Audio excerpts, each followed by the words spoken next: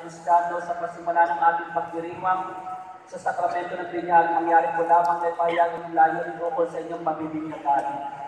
Bilang mga magulang ng mga bata ito, nais ko ba sila ay tumanggap ng sakramento ng binyag upang makisal sa buhay ng Diyos at makakalip sa atin sa bayan ng Kristiyano?